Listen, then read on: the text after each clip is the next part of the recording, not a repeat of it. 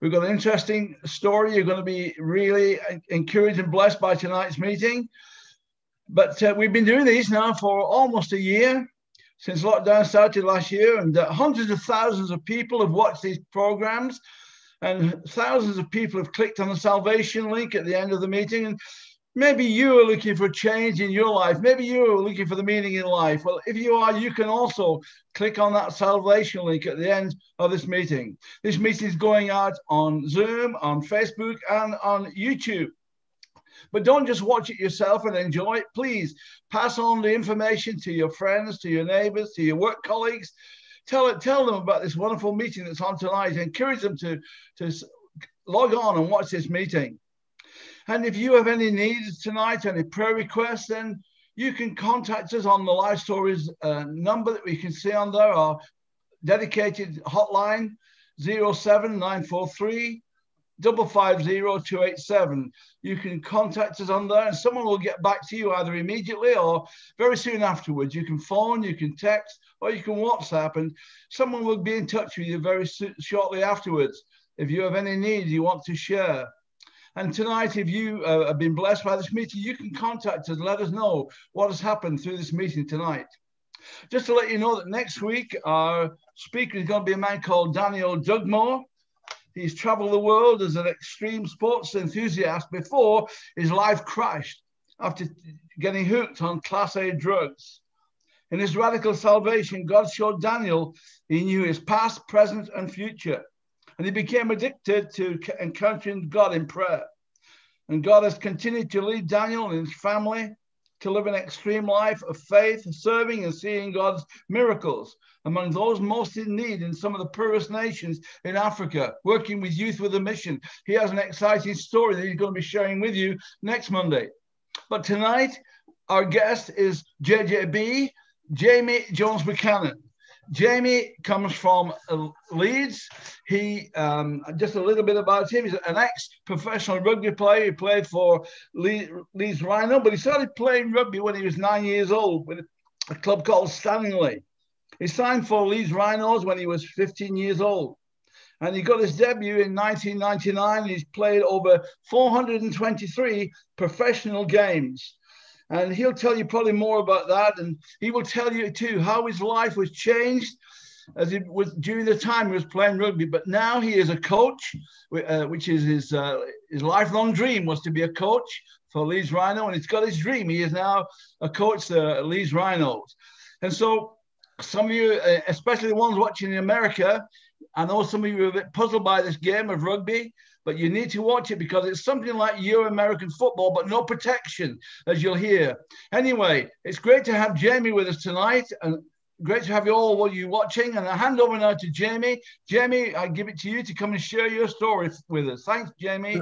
Good evening. Thank you very much, Alan. I don't know if you've got a bit of an American accent during that introduction there, mate, but it's very kind of you. Thank you very much. Um, it was my dream, actually, to become a professional rugby league player, and more importantly than that, represent my hometown club of Leeds. I've grown up, I was born and bred in uh, West Leeds in Bramley.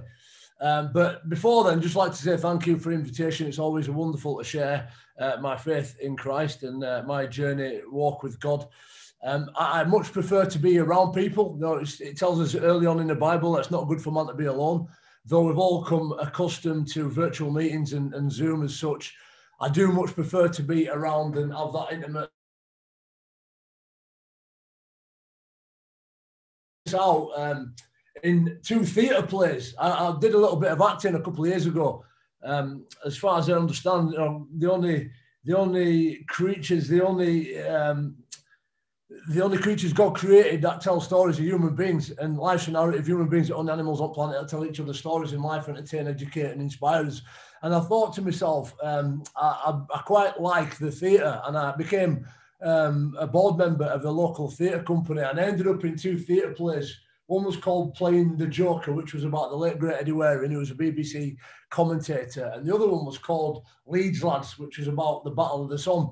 And one of them was um, on the theatre, so he was on stage, and it was a very stereotypical method in which to perform. But the other one, the uh, Playing the Joker, was in the round So when you was acting, you were surrounded by the audience. You was in a you was in a community club. You could have been in somebody's front room, any venue that was large enough uh, to to accommodate. And it become really clear then that the best part about communication is the actual intimacy about about re- being around people. That being said, we have got the advantage of being able to speak to those on the other side of the world. So it's a pleasure to be able to tell my story to you as well. And I'm a rugby league player. And if, unless you're from the north of England, you might not know what rugby league is all about. You know, the, uh, the vast majority of rugby players would probably be rugby union players, which was the, uh, the original game. Um, rugby league was born out of rugby union in 1895 out of the north, out of um, poverty and rebellion, essentially. I won't go into that. That's uh, time for another day. But as Alan said, I'm an ex-professional rugby league player. I lived my boyhood dream. I represented my club for over 22 years. I signed for Leeds as a 15-year-old fanboy way back in 1997. Uh, and 22 years later, 421 games, three Challenge Cup finals, eight grand finals, three league leaders, uh, 144 different players Later, I retired in September 2019 and went on to continue that journey representing my club as an assistant coach. Now, I'd love to log on next week and listen to the, the sportsman who's going to give his testimony. And it's interesting listening to uh, people talking about drug addiction. I, I want to throw something a little bit different to you uh, today. Um, you know, drug addiction being one of those things that we um, obviously don't want to be in. And a lot of the stories that you hear when people give the testimonies um, and come to faith are through adversity. Now, there's a couple of reasons you have to bear with me um, why mine's a little bit different because I lived I lived my boyhood dream. I fulfilled my boyhood dream. And when I sit here talking to you now as a 39 year old retired professional, looking back on my career, I have to pinch, pinch myself you know the uh, journeys that I went on, went on, the things that I achieved, the people, more importantly, that I meant, and the lessons that I learned. Some of them archetypal lessons that are very directly related to Bible, and I, and I, I will come to them. But even though I live that dream and I've got these accolades, and I'm not in any way trying to boast. In fact, I'm trying to impress upon you that even that isn't enough to fill that God shaped hole at the center of our hearts and minds. Um, and when we look at the things that we try to achieve in life, when we set out um, quite idolatrously at, at, a young age, which I'll explain a little bit later on, you know, we can chase things in life, and even when you achieve them, you know, to quote Ecclesiastes, it's absolutely meaningless. It's meaningless without God at the center of it, and that's what I want to try and really impress upon you uh, today. I'm going to start by um, screen sharing. I just want to show you this in pictures because it might give it a little bit of context for those who've not watched rugby league before. So uh, for those who can see, this is a short video of uh, me playing rugby throughout my career. I think I'm 13 or 9, 1,309th player to have represented this great club. And I don't think there'll be many players within that time that's played with as many players as I have over the last 20 years as well. It's been wonderful, and you know, with all the successes and some of the adversity as well, I think it's the people that you play with that you really treasure. That's where the real gratification and being able to do it in front of my hometown fans in my home city of Leeds is been a dream come true and been a real privilege. And uh, you know, 20 years in, nearly done, nearly finished, coming to the end of my career, it's been been a wonderful experience. Jamie Jones once more, through line three, brilliant try,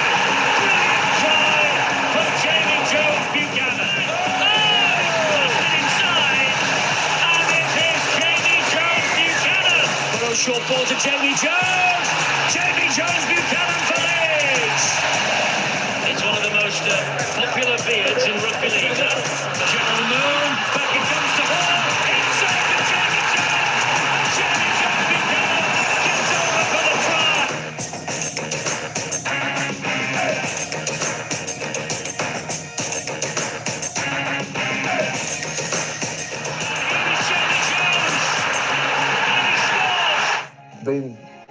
was a player of the golden era, the golden generation, and I've seen all sides of it. You know, the ups and the downs, and you've got to be there for all of it. As a league supporter, it'll, uh, I'll never leave them all forsaken.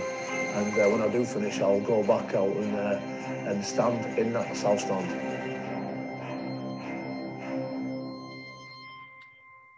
So that was a little bit of an insight into my uh, journey. You can all still hear me. Just give me a thumbs up if you can.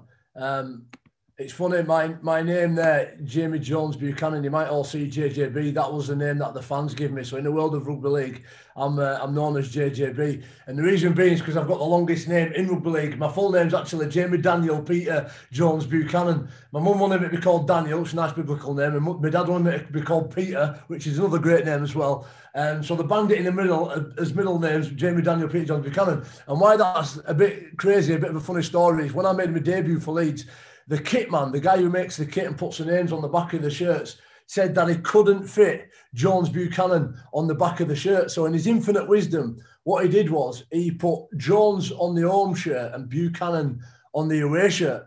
So, casual Leeds fans who were going to games are like going to away games, going, "Who's this Buchanan here? He's worse than that Jones who played last week. We signed some rubbish this year." But anyway, a bit of a, a dash story. Seven years it took me to get my full name on the uh, back of my shirt.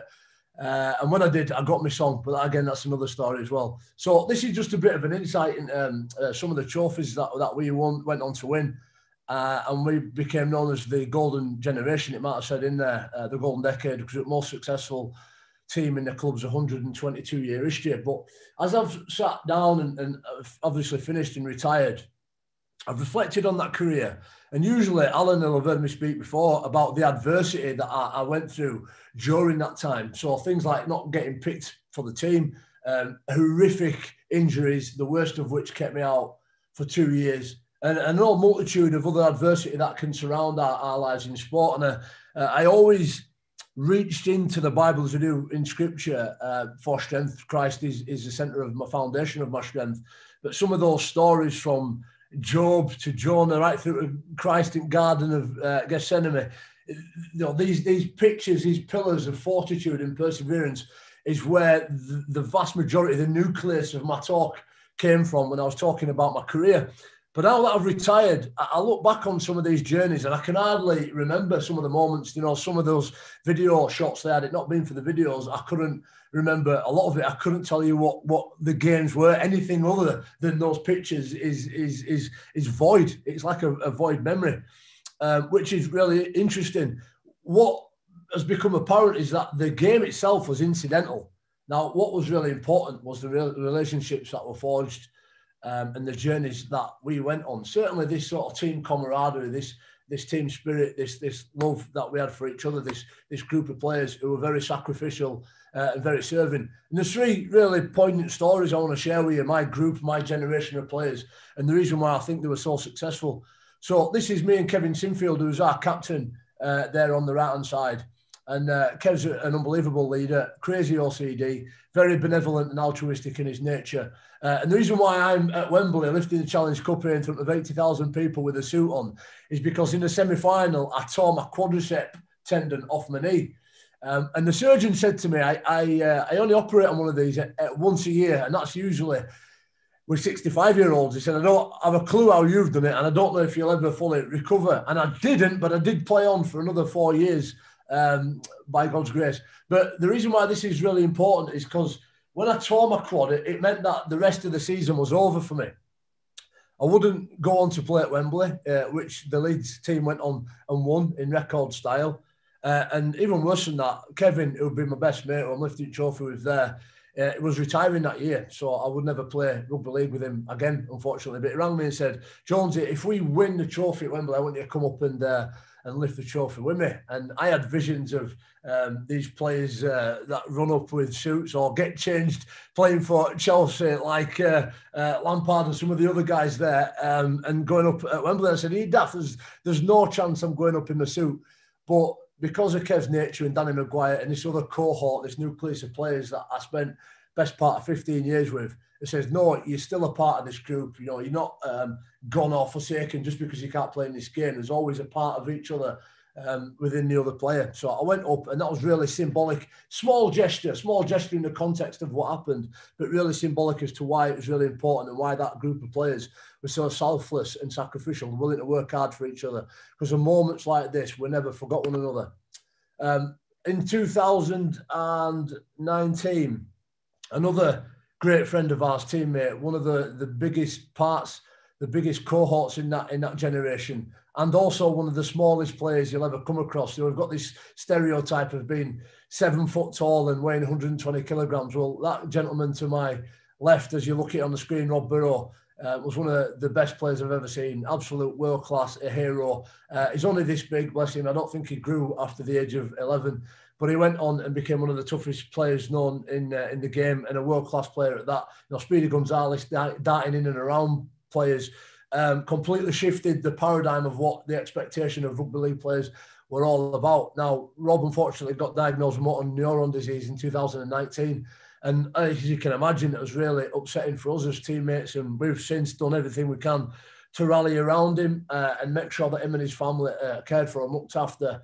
Uh, and again, that was really galvanised um, in our team spirit. Now, the photograph you're looking at was on the, the 12th of January 2020, uh, a little bit over 12 months ago. Uh, and the reason why it was so special is because all the players, having heard the, the, the devastating news of Rob being diagnosed, uh, came back to play. So that class that I came through, that generation, some of which were in the late 40s, all came back one more time to support Rob in a testimonial game and tried to start the ball rolling in terms of raising money and awareness for motor neuron disease and obviously Rob.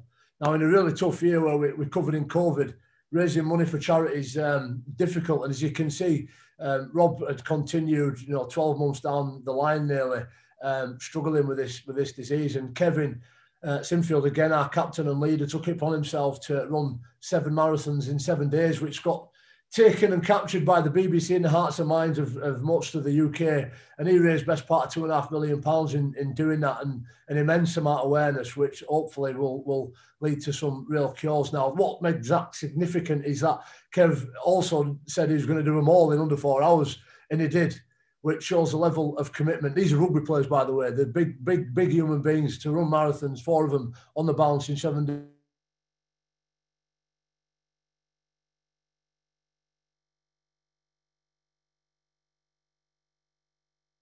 Uh, and when you look at those five different versions of love within the Bible, like agape, the, the, the selfless sacrificial, even if it's an archetypal version, you know, these this group in a sporting context really had it. And that was the most gratifying part of my career. Very different sort of talk to what I used to give as a player, because this has really you know, come to the forefront of me since since uh, I retired.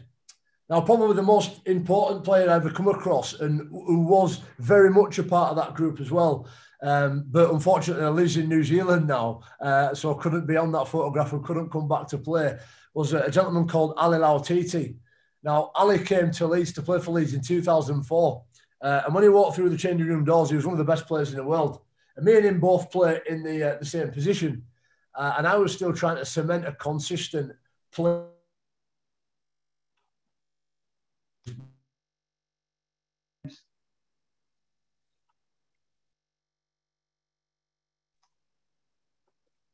You're frozen. But there's something really different about Ali. Um, and, you know, he was such a good player, gentle giant, ferocious on the pitch, carried the ball as if it was a peanut, this big rugby ball. But Ali was a Christian and made no secret of the fact that he was a Christian. And you could tell in the way that he lived his life, the way that he behaved in the changing rooms around the players, his language, his vocabulary, um, the way that he spoke and how weak and wild he was around players. As you can probably see, I'm beaming now just, just looking at Ali. Uh, I love it a bit. And when I met Ali, it was an opportunity for me to ask a player and a colleague who I trusted over time, you know, got to know him really well, about his faith in Christ. Um, made it no secret the fact the reason why he didn't want to go out drinking and partying like many of the other players, cantankerous players doing anything to get the next win, was because he had a faith he, uh, he, he knew his creator and, and he professed Jesus to be his Lord and Savior. Now, I'd grown up not in a, in a biblical home, but, you know, in the stereotypical sort of Anglican British Northern background, going to church for weddings and christenings and formal events. And I'd heard of this person, Jesus, I had no idea who that was in the context of uh, theology within the Bible. I did believe in, in God. I, I, did believe that there was an omnipotent, omnipresent power out there that governed all of us. I had no idea what that meant, but Ali invited me uh, along to church and I went with certain um, expectations. I said before, I expected this stereotype of uh, a building full of Ned Flanders from Simpsons wearing cardigans and, and sandals and all types of things. And what I found was a multitude of different people from all over the world, certainly in my church, Evangelical, who, who all believed in uh, in Jesus. And uh, again, you're frozen again. Years ago, came in uh, manifestation, Emmanuel, God with us, and through His life, death, and resurrection.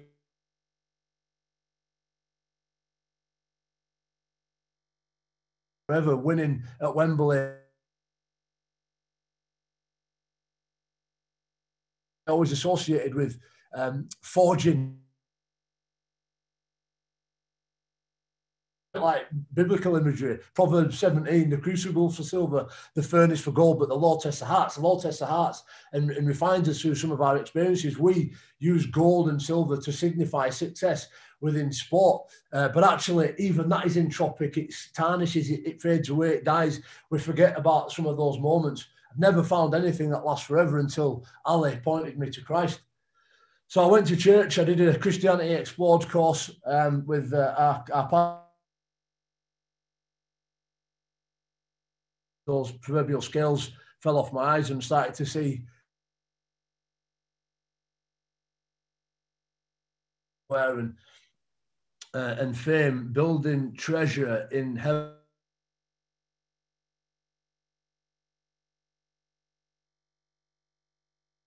not so much that I was a better athlete and a performer on a weekend, but so I could glorify him in, in doing so.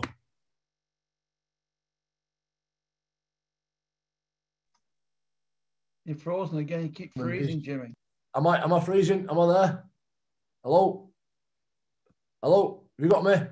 Yep, we got you. Big, big part of uh, my my journey is to uh, by God's grace, be, be like Ali and hopefully be a shining light in those changing rooms through the way that I speak, the way that I behave, and hopefully um, point people towards Christ as well as a professing uh, Christian. So I'll just uh, leave that screen share there, stop the share, uh, and we're back. We should be back on. Now, it's really important that I, I just share with you who I am. So, where I came from, why I ended up becoming a, a professional sportsman. Uh, and that's because as far back as I can remember, from being three, four years old, going into school, I was a mixed race kid growing up in a northern white working class society. And this society was unbelievably good. It was fantastic. I made some great friends, and I still live, live here now. I, I run around the streets every Monday, Wednesday, Friday at half past five, the streets that I grew up in, and I run past the people that brought me up in those communities. But when I went to school, sport was a great way for me to identify myself. It became the centre of my identity. And the reason being is because even though I was born on 1st of August and I was youngest in my year, and 1st of August, by the way, if you don't know, is Yorkshire Day. So Yorkshire, most Yorkshire Yorkshireman ever. Uh, and I do feel like Jonah going to Nineveh when I have to go over to uh, Lancashire. But um, growing up in, in school, I quickly realised that sport was going to be the vehicle in which I lived my life. And that was because I was very coordinated, I was very strong. I was a good house brick taller than everybody else in my class. So I was, I was very big and, and suited for it. And that lent itself to me performing well in any game. And I quickly realized that when you win, you become popular and you make friends. And it was a double edged sword because you could make friends and get back at your enemies by beating them on the sports field. And it did not matter what game it was. I was really competitive, what you'd know in sport as ego motivated. And by that, it wasn't about winning the scoreboard or beating my previous best. It was about beating whatever challenge or competition was in front of me. And that actually had some benefits as well. So, you know, if it was a maths exam, a science exam, and there was a quantifiable way soon who finished top, I wanted to try and be the best. Now, where that was damaging is that it was a be and all and uh, the be all and end all of my life. And growing up as a teenager, you know, looking back, I'm certainly wasn't proud. This is long before I became a Christian. Of some of the things in the lens that I'd go to to achieve those wins. You know, the way that you step over people uh, and my attitude towards it. You know, there's real pride in there. Uh, and again, to sign for Leeds as a 15 year old, really quickly made my debut in uh, 1999 as a 17 year old. And before we knew it, we'd won all these grand finals. We were playing at Wembley and Old Trafford, and we were a really successful team within my own locality. But it wasn't until I, I met Ali and started going to church that I, I, really understood and came to see that all those things outside of God and living uh, in a way that glorifies Him is, is ultimately ultimately meaningless.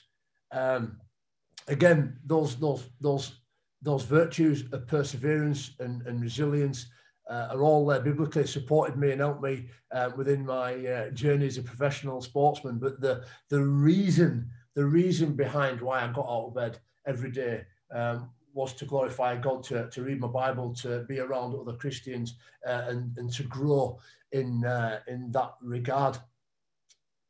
So it's been um, it's been an amazing journey and one where which by time uh, I'd started going to church in 2006 I'd really started to grow and uh, I quickly realized that I needed to get married. I met my wife when I was 14. She'd grown up in a Catholic background, um, an Irish family, lots, lots and lots of aunties and uncles. Um, so she had her own perceptions of what church was about. Um, we'd already had two children, um, and Mike Wildsmith encouraged me to get married. Uh, I got married in 2008 uh, when I got back from World Cup. And then not long after that, I think uh, I got baptized as well. Uh, and my baptism was one of the most emotional moments of my day. I remember um, there was two services, one in the morning, um, and then there was one in the evening. I was being baptized in the, the evening one, and I went down. I was nearly in tears watching people give their lives to Christ uh, in the morning, and I couldn't wait. And having this opportunity to to bring family and friends to church and show them how this person of Jesus Christ had turned, changed me, my life, my aspirations, and who I wanted to be, and ultimately this identity that was previously all about winning. Um, it was a great opportunity to, to profess that. And I remember running up the stairs. We've got like a bit of a, a podium in front of the uh, the pool in which we were baptized, and I, I, wanted to get in. I just felt like diving off. And no, behave yourself, Jones. You're, you're, a Christian now. And I went down, got in in the pool, uh, and uh, given my life to Jesus. And ever since then, you know, being a father of, of four boys, we've got four boys now by God's grace, you know, uh, my marriage, and I got married, I had in Christ Jesus written in Aramaic on my wedding ring as a, as a prayer, really, that um, God would be at the center of everything. You know, the Bible starts and ends with, with a, a marriage, and um, my marriage is without doubt the biggest blessing uh, of my life. You know, my wife is my best friend, and the fruits of that relationship, uh, what give me the most joy, uh, this godly institution. And in fact, whilst people have been locked down over the last 12 months, and you know, we all know that social isolation kills people, and we're not created to be alone. Um, my relationship with my wife and my, me as a father as well has grown exponentially through that opportunity. Though I can't wait uh, to obviously get back out and I went on and changed in the changing rooms. So obviously, becoming a Christian, um, the way that I behaved in the changing rooms completely changed. Uh, and the lads who'd known me from when I was a kid had seen this change come about. And when they referred to the old cantankerous version of me, that was kick fighting and biting and going out and drinking and all the rest of it, uh, and just being a nuisance, they referred to me as Jonesy BC. Do you remember Jonesy BC before Christ? And I'm like, no, I'd rather not actually. But what that was was um, real sort of outward showing that my, my life had changed and I was a different person and Jesus was at work in my life. Now there are some um, disadvantages. I think being a Christian and, and, reading the Bible on a daily basis, we come uh, see why we need Jesus because we are sinners and we're so far away from God's perfection, and um, you know we, we crave for His His justice. And you know, whilst we are professing believers, we still get things wrong, still make errors, and certainly when you're playing rugby league um, on a Friday night in front of potentially millions of people or eighty thousand at Wembley, and um, the referees made a couple of bad decisions. You're reading about the ultimate uh, just God who never gets a decision wrong, and then a referee misses a call, and then some uh, opposite, opposite number gives you a bit of a smacky mouth, and you've lost a couple of teeth, and you're bleeding everywhere, and you might have a bit of a fractured cheekbone, and then you drop a ball, and thirty thousand people are telling you exactly what they're thinking, and all these stresses are starting to build up around you.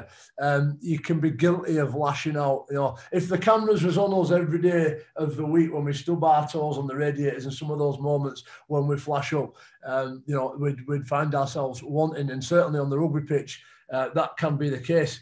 Um, but actually, it's also amazing in that there's a chance to witness, there's a chance to talk about my faith.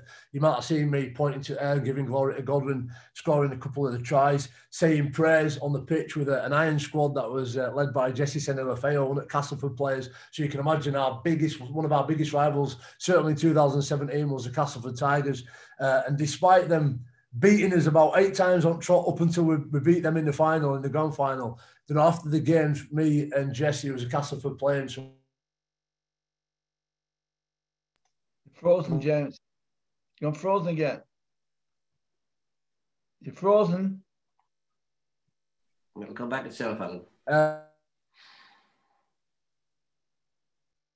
Lancashire, I don't know, Yorkshire and Lancashire. It's um, it's a war that's gone on since the, the battle, the War of the Roses. It's a medieval battle that's continued in, in rugby league. Uh, we're all good friends off the pitch, by the way. But we'd gone over. I'd gone over to Wigan uh, one evening, and I was uh, I was giving my testimony, and we'd played Wigan a couple of weeks before, and I'd scored a try, and I don't score many tries, but I'd scored a try in this particular game. Uh, so I had the upper hand, and we won. But this uh, this part of this congregation, he said what about that high tackle you give away on that kid? You clean nearly took his head clean off his shoulders.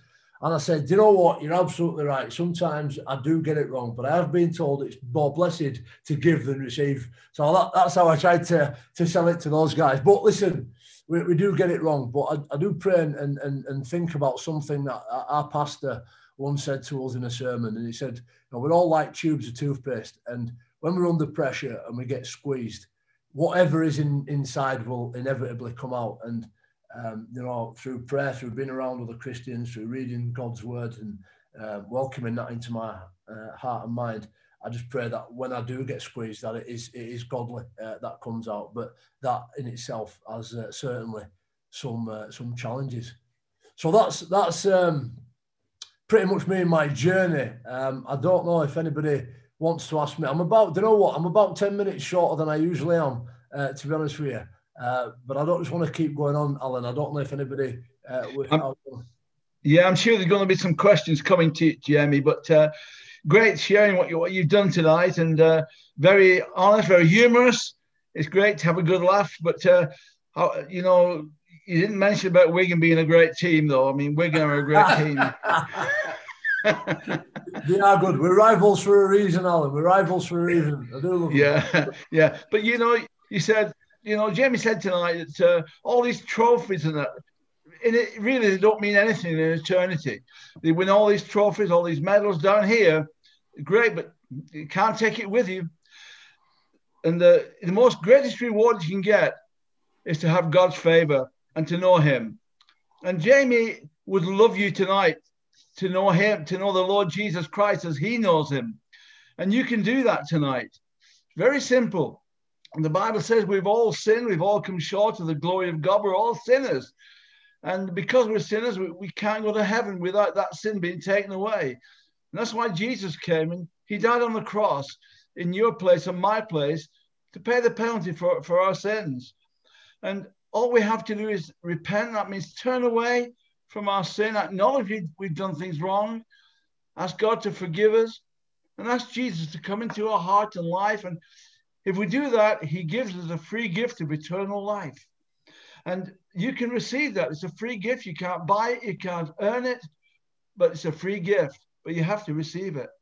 And I'd like to give you that opportunity. I know Jamie would too, to invite you to come and know the same Jesus that Jamie knows. If you would like to do that, I'm going to say a little prayer. And I'd like you to pray this prayer with me sincerely tonight and mean it with all your heart.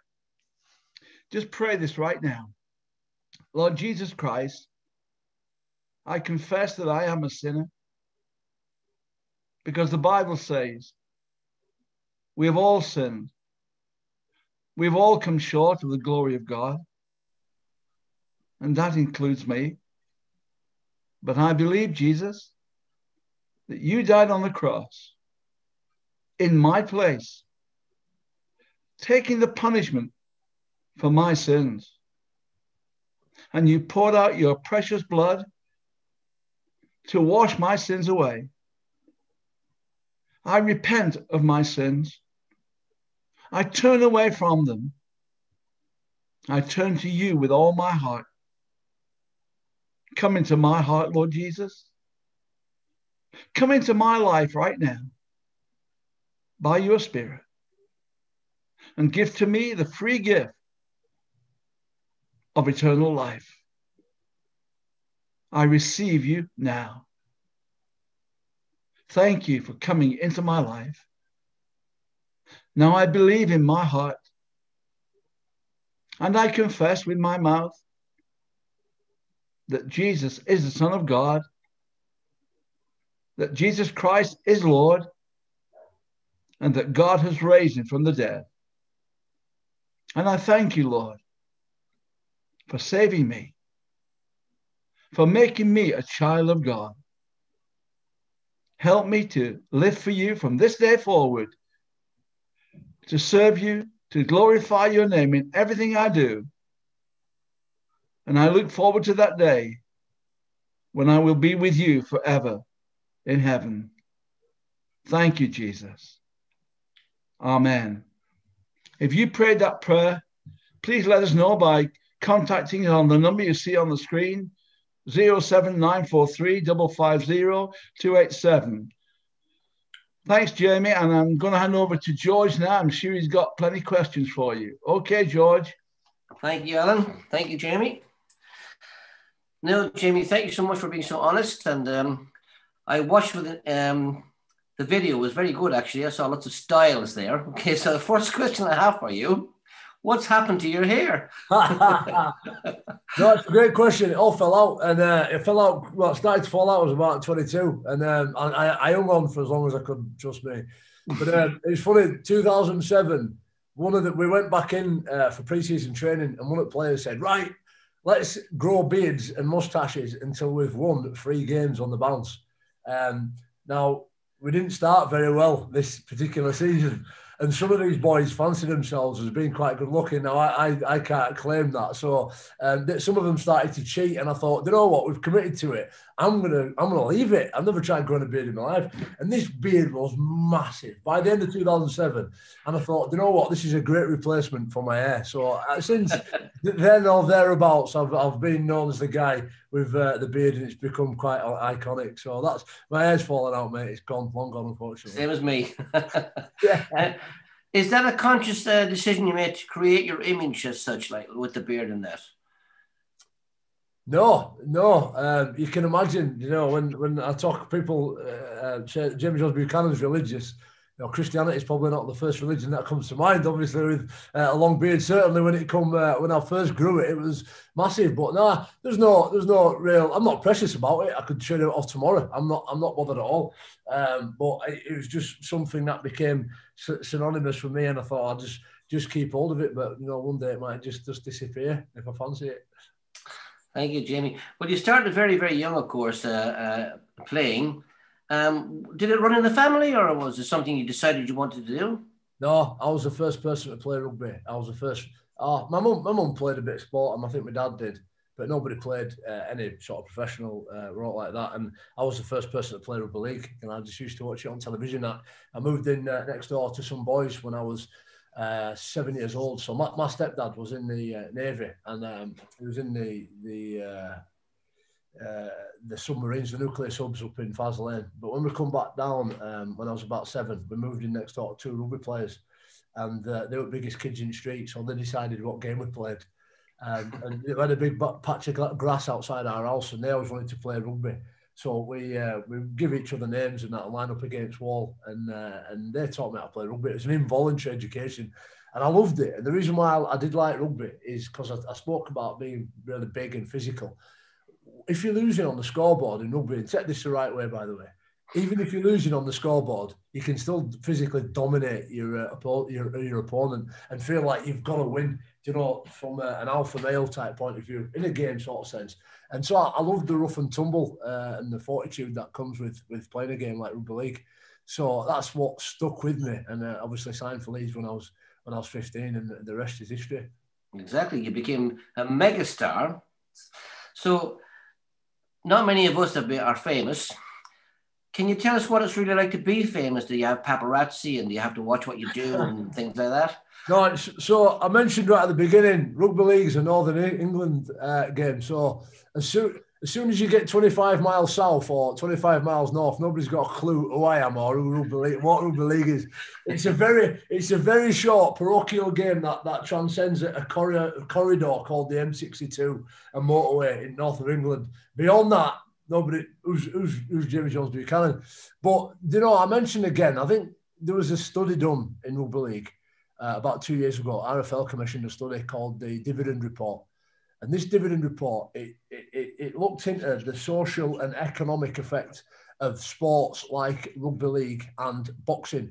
And they're the top two games for reaching into the, some of the more socially deprived areas um, in the country, and certainly within north of England. Um, and I think that just underlines and signifies that the game of rugby league, anybody that's been in it or understands it, is very working class, down to earth sport. And they're, they're very much like cowboys and Indians. They're all they're like the cowboys in the saloon, and they, they're all fighting each other and carrying on, and they're always arguing. This little tribal parochialness. But actually, when there's a bit of adversity that comes over the hill, when there's an enemy coming, they all team up together and they get together as a game and, and they seem to survive. So we, we were born out of rebellion because back in 1895, the Northerners couldn't afford to play rugby union. Uh, on a weekend and, and not get paid, so they started playing them, and thereby is the game of rugby league born. Uh, Gridiron, American football, I believe, was born uh, not too uh, long after through rugby union as well. But um, nah, nobody knows me uh, when I get outside of Bramley. And everybody that does know me knew me when I was four or five years old anyway. So that's the difference. so anyway, you were famous in the rugby league uh, world. Um, tell us about some of the temptations that were there. I mean, was there parties, drink, drugs, and things like that? Yeah, so no, never drugs. I was never into drugs. My my mum like, I was, I had a real loving family, and uh, you know things like that. I never. Listen, I'm not perfect by in any means. Um, never did all illegal. Certainly drinking, yeah, absolutely.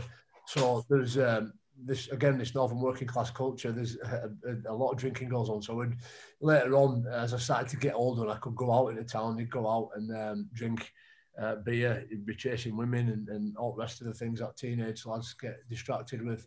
Um, I, I, guess I, I suffer like any other human with, with those temptations, uh, and the, the, the overarching idol was the win. So I wanted to be a professional player, and that that in itself encompasses a lot of sacrifice, a lot of self discipline, a lot of hard work, a lot of training. There are. It's funny. A lot of people now in charities they ask me to come and speak about um, physical well-being and mental health. So much going on around mental health now and anxiety, mm-hmm. and um, it, it, it's something I've always taken for granted. Mental health, by God's grace, again, I've always been pretty good. I've always had a good support network. But it just blows me away that people fail to make the link between physical and mental health. And you know, we're really quick to talk about that. But actually, when you ask people, what's your physical health like? Um, and they haven't got much of an answer. And that's because it, it means as human beings, we've got to make difficult decisions about what we eat, what we drink, and uh, how, how we exercise. And unfortunately, we just can't do it. We all have weaknesses. I cannot lock a door to save my life. I struggle to uh, fill my COVID app in um, on, on the morning, you know, this little app. And it's not because I don't want to. I'm just not very good at ticking boxes. I'd be the worst accountant in, in, in the world.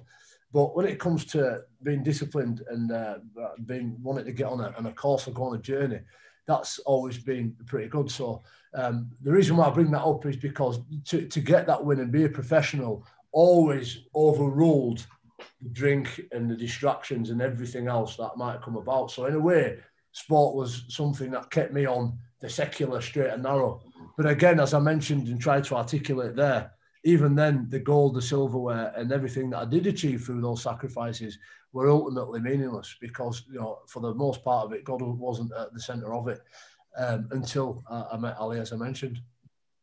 So you mentioned the win was the ultimate thing there for you. What was it like then when you finally fell over the line with the ball and the crowd rose? What was that like? So I told you about my name. And uh, whenever you whenever you play sport in England, you'll know if you watch football or rugby or any sport really, the fans sing songs about the players or they sing songs about the team, and everybody in the team seemed to have a song apart from me. and I could never understand it. And uh, I'd score. And listen, don't, don't get me wrong. Don't, don't say about a profit in his own town. I'm just local kid down street who's uh, grown up in Bramley, played for Leeds. And I, listen, I wasn't great. My my biggest gift as a player was being distinctly average for long periods of time. I was just a grafter. But now and again, I did get over at try line and I scored a try and I walked back on side and it was complete silence. It's like tumbleweed blowing through the stadium. Thinking, what's going on here? Surely somebody must think of a song. And I always blamed on the fact that nobody knew my name. My name was that long. And in 2007, I remember scoring the try. I did get over the line and walking back on side and the whole crowd erupted. Jamie Jones, Jamie Jones, Jamie, Jamie Jones. He's got no song. His name's too long. Jamie, Jamie Jones. so it, it, transpired. I didn't have a song because my name was too long. But when I did get a song, and it was about not having a song, it was wonderful. So yeah, the airs, the airs stand up back in your neck. But again, I look into that crowd and I can see where my mum stood. I can see where all my old teammates are stood. And whilst there might be 15,000 people in there, I reckon I know a vast majority of them. So uh, it's always been pretty nice. Well, you said you didn't score many tries, but it says here you scored 77. Yeah, over 20 years. yeah. So we average it out. It's a bit, uh, it's all right. It's all right. so, so, of the trophies that you won, is there one particular trophy that you cherish more than the rest? Yeah, yeah. So um, I, I, mentioned Leeds. I'm, I'm biggest Leeds fan. Like I, I love Leeds as a city where I've grown. It's my hometown. Um, and Leeds United is obviously our football team back in the Premiership. And mm-hmm. um, I, grew up as a Leeds United fan, and I used to have these recurring dreams. It was all about sport when I was a child. And I, I, I dreamt I'd be the first ever Leeds United and Leeds Rhinos player. Um, that was never going to happen, by the way. But uh, I went and played for Leeds Rhinos. But when we played in the World Club Challenge games, so that's when the winner of the English competition plays the winner of the Australian competition. We play at a neutral venue, and quite often we played them at Elland Road. So uh, we first played Canterbury Bulldogs um, at Elland Road in 2005, and we become world champions. So representing Leeds uh, for the Rhinos Rugby League, my favourite sport, at Elland Road, which was one of the, the, iconic grounds of Leeds, was like it was brilliant, and uh, become a world champion there. And went on to beat Melbourne Storm and, and, a couple more, and become World Cup champions three times. So yeah, I, I really enjoyed uh, playing at Elland Road. Excellent. Now, in your Jamie BC days, okay, yeah. was there ever a time in a game where you said, to, like, there's somebody on the pitch, I'm going to get him? Yeah, every week. yeah, every week. Um, and I don't know what that is. I don't know what that, that alpha male. There was, there was some.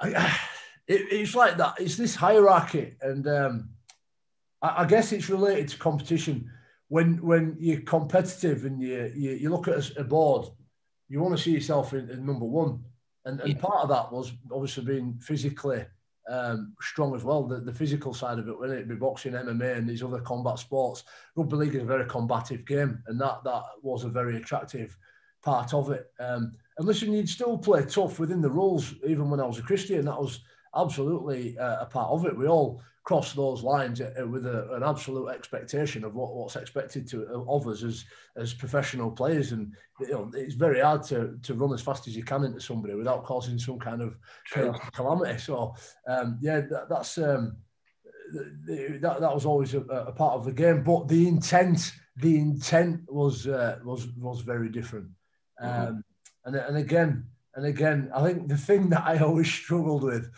even as a Christian, the toughest part of playing as a professional player, it might be much to my shame, was the referees. I really, really struggled with when uh, we didn't get the right decision. I'd be constantly on at it. Is, is this referee having a laugh? Did he not see this?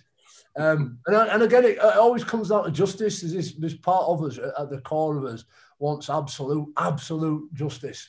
Um, and when you don't get it on the field, sometimes it can feel very unjust. But human beings are obviously human as well.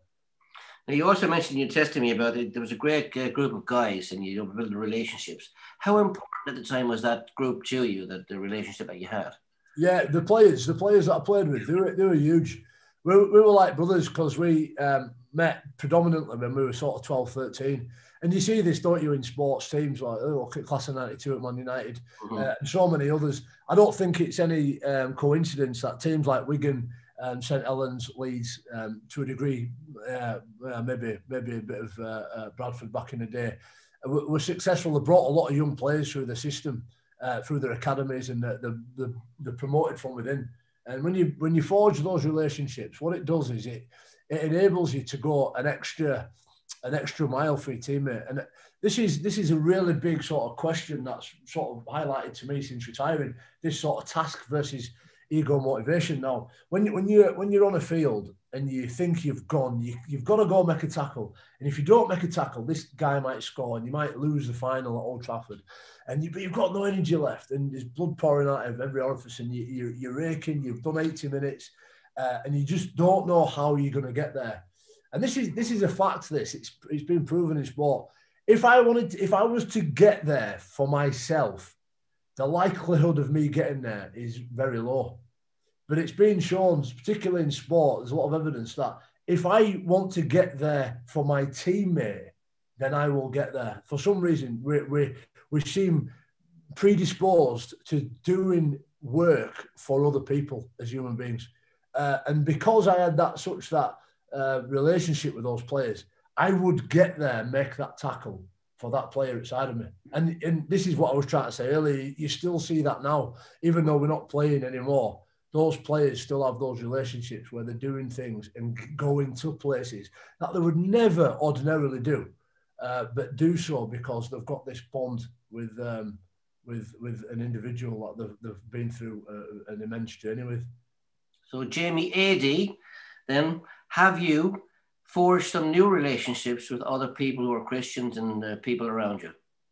Absolutely, absolutely. So, obviously, starting with my own church. Um, I've grown there in uh, in my faith and the, the church fellowship that we we have. There's lots of people that I've been around with, uh, some evangelists. One of my my favourite guys who I love spending time with is a guy called Roger Carswell, who um, who goes around a lot of churches up and down um, England, telling stories a, little bit like yourselves, and uh, been with him, and, and lots of friends in sport. You know, it's it's interesting um, there was a, a, group called Christians in Sport, and through which I, I, had the opportunity to meet other sports and professing Christians. In rugby league, you find that a lot of them are islanders, so they come over from New Zealand, Papua New Guinea, or um, or Fiji and, and Tonga and, and, Samoa, and it's much more part of the culture. Certainly in the north, the it, it's England, the you know the fairly stiff necked um, northerners. It, it can be difficult sometimes um, though they ask questions at some really key moments. But uh, it was real blessing uh, that Rob Lui, who's um, one of our players at Leeds Rhinos, got baptised last week, which was, uh, was wonderful to hear. Yeah. And uh, just ace, unbelievable to see him uh, reading the Bible, coming to understand who, who Jesus is. And again, it, it's it's a life we don't know who, whose life we affect and when. Um, you know, God waters those seeds, and, and and you know, even though I've grown up going in churches, it wasn't until this guy who come from New Zealand uh, came over and sort of impressed upon me the living Christ that I started asking those questions. Um, and, and Ali, again, was, was an unbelievable guy. R- rather than going and living in Alwoodley in some of the posh areas of Leeds, he came to live in Bramley uh, with me. And I remember um, first thing I did was I tried to look after him. He needed to cut his edges. He bought an house that was all overgrown.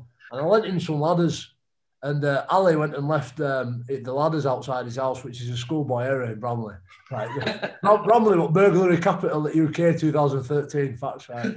So somebody's seen these ladders and they've climbed up his these ladders into his window, nicked his car keys, drove his car straight through uh, part of his garden wall, and disappeared. So that's lesson number one. And then another time, he was in his room and uh, he could see his hedges completely ablaze on fire and he must must have at time been like the burning bush. Where he's looked out, but this this bush has been heavily consumed, uh, and he's run out, and some kids had, had set his uh, bush on fire. And then, uh, then another time, last one, um, I I got a joiner to go around and help him fix his kitchen, put a new kitchen in. and within about six weeks, he rang me up and said, Jonesy, I filled these these cupboards full of plates and all all all wood's fallen off at wall, all kitchen units have come off at wall. And I'm like, oh, only in Bramley. But this never, ever swayed Ali, you know, just persevered. And you know, when we read, like, book, uh, Alan might have heard me talk about it before, Book of Job, like, I, it just blows me away. You know, this the earliest books in the Bible, chronologically. Uh, and this this guy Job that has you know we basically learn early on that this guy is the most righteous in all the land and he's got everything that he, he could ever want.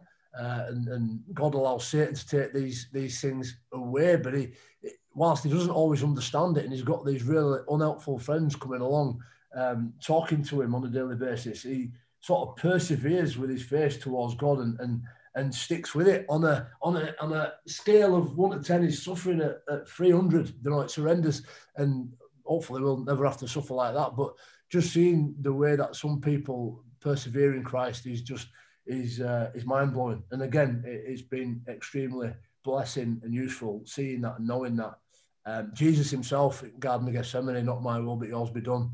Um, you know, just uh, amazing bits of the Bible of, of real sort of toughness and, and fortitude.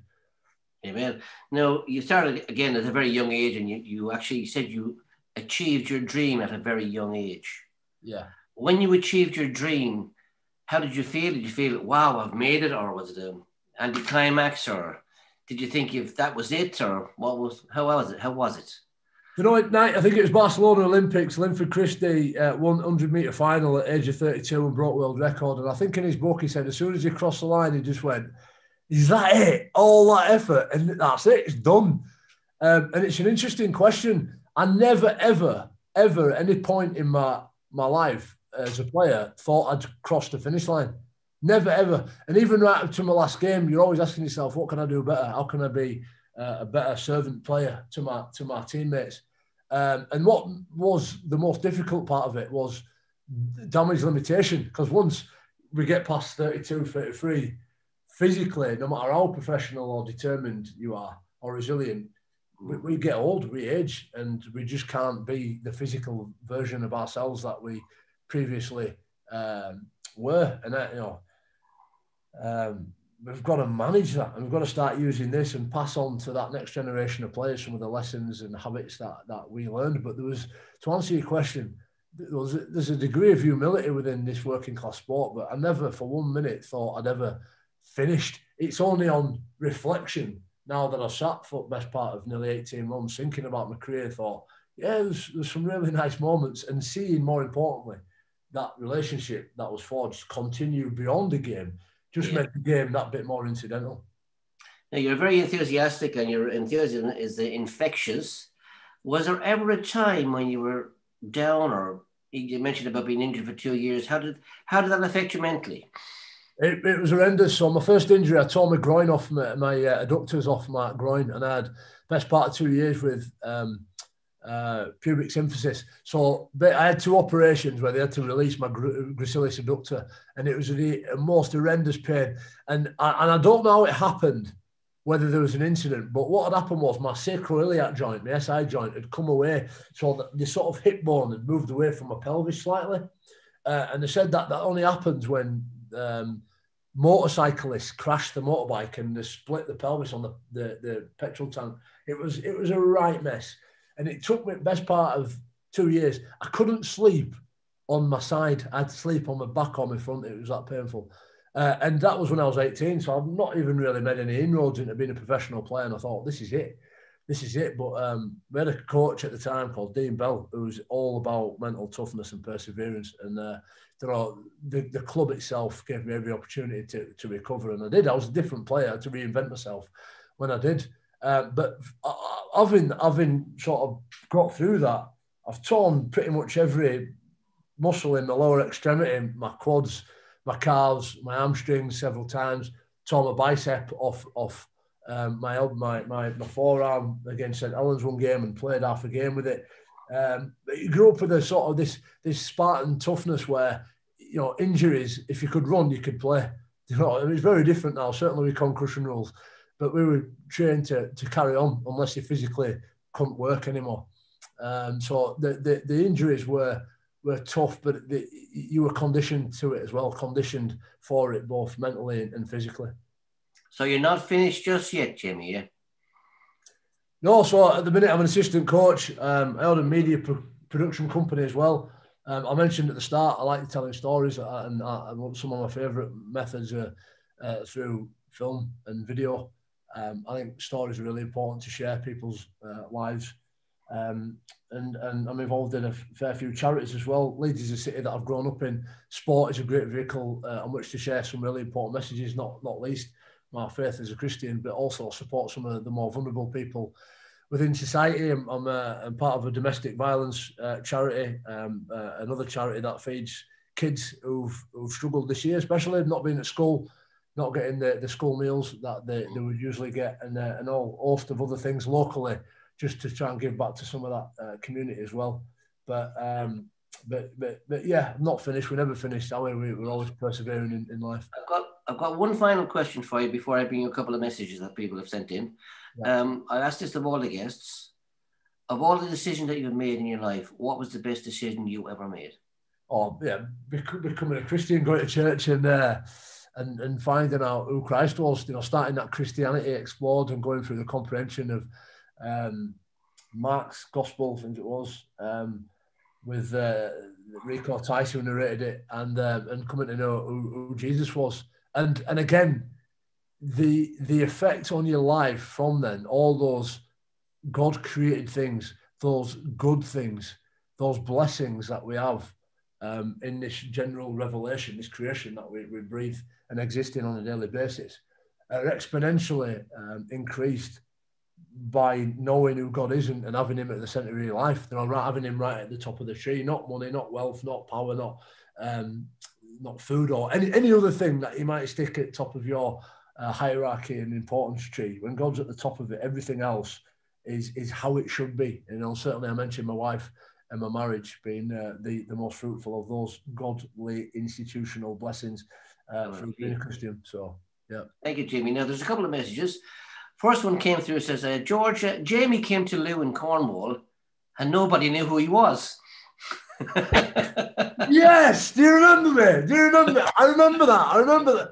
So I don't like flying, me, and I, would go on a British holiday every single day uh, of uh, the year, every year. And I've never been to Cornwall, so I went down and uh, yeah, yeah. Paul, Paul, um, he gave me his uh, caravan for a uh, his, his, his for for a week, and it was unbelievable. And then we went to Dorset, and uh, I, went, I did visit a couple of churches down there, and it, it was brilliant, real blessing. So anybody who's there, great to hear from you. We've also got a message from Bill Ashurst, former rugby league legend, is watching on Facebook. Bless him. He said he's been so blessed uh, by watching you, and he can't wait to see you again. Great to see you, mate. I was only talking to you uh, other day to uh, Brad Dwyer and um, our Wigan contingent over there um, in, uh, in uh, the Leeds Rhinos when I came over at Aspull Aspull Methodist, and it was great to see you, mate. And uh, again, talk about our faith. So, hope you're well, pal. Staying safe. He says here that uh, against New Zealand 71, no other forward ever chipped a ball over the top and scored the New Zealanders. they never seen that before and was a proud first man for, for, from man from GB. Was that you chipping the ball? No, that definitely wasn't me. Certainly uh, wasn't me. It was, was, a man of many talents. Um, redefined the forwards role. Brilliant. Love it. Well, it's been fantastic speaking to you, Jamie. Thank you so much for your enthusiasm. Thank you for your honesty, and we wish you all the best in the future, of course. And uh, with that, I'll just hand back over to Alan. Jamie, it's been a real inspiration listening to you again tonight. I've heard you many times and I always get blessed by your sharing. It's really thrilling to hear you. Yeah, Bill Ashurst said he'd love to come and share one night, perhaps like this. Perhaps we'll have him on one night and tell his story, the legend from Wigan. Um, but uh, Ian and Christina said that they've been playing praying regularly for Rob Burrows. He said they pray regularly for him. Have you had a chance to share with him or pray with him? And uh, how is he? Yeah, so in his early onset, he, uh, I actually took him to a church and did pray for him, and um, he, he, did he did explore it. And then the first lockdown came when the the virus came about, and we just couldn't get anywhere near him. Obviously, because he's vulnerable, um, you couldn't get anywhere near Rob, and I've I have seen him maybe once since in in since the first lockdown. I've spoke to him many times, been on Zoom calls with him, but because of the vulnerable nature and which is and the, the deterioration of MND, um, it's been difficult to uh, to get near him. But yes, absolutely. To answer your question, I was being and I really thank you for your prayers as well, and I was, I'd ask you to keep continue to do that because uh, he's uh, he's a love, he's a lovely kid, and he has he has explored it. He has asked them questions. Great. Um, sorry, so, thanks. Uh, Go on, George, yeah. Another message from Bill Ashurst. He says, uh, He never scored that often, he says, and very rarely against Wigan. ah, it's a real battle tonight between Yorkshire and Lancashire, between Wigan and, and Leeds. And we've also got St. Helens supporters watching as well tonight. But thanks, Jamie. It's been absolutely tremendous hearing you. And, uh, and uh, if you've watched this tonight and you want to make a decision in your life, you know, God has given every one of us the chance to to have eternal life. Well, we'll have eternal life somewhere. We're going to live forever. God's given, He's going to live everybody uh, life forever, but in one or two places, either heaven or hell. You make the decision. And I, I ask that you might make that decision that you want to be in heaven with Jamie and with, with others. And you can do that by con- contacting us on this number that you see on your screen or by going to our uh, website, bmflifestories.com. And there you can find out about the Salvation Prayer Link.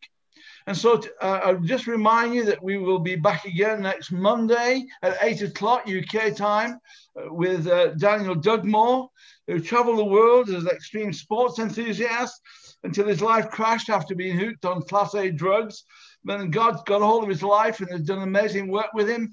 He's now working with youth with a mission, going to many of the poor places in Africa, helping people. So we, he'd probably be on from Africa. I think he's in Malawi or somewhere like that. So that's next Monday. Also, you can go on to Life Stories at Lunch on YouTube.